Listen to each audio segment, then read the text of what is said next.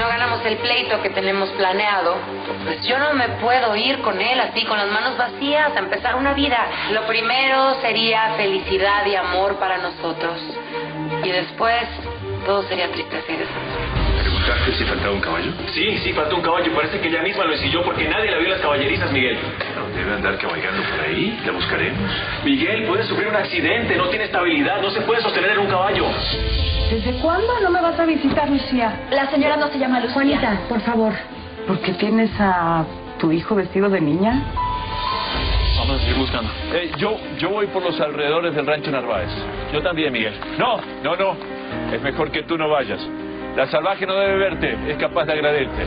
La suerte me la mandó para que yo les haga pasar un susto a los narvajeños. Señora, con todo respeto, voy a pensar que usted también está mal de la cabeza. Vine para conocer a mi hija. Para que regreses conmigo a México y poder darte las gracias por el bien que me has hecho. Simona está como está por mi culpa. Yo soy esa tal sombra negra que la acecha. Ese ángel negro que ella tiene en su subconsciente. ¿Y se le ocurre pensar que la señora Simona pueda estar aquí? O que alguien de esta casa la pudo haber visto.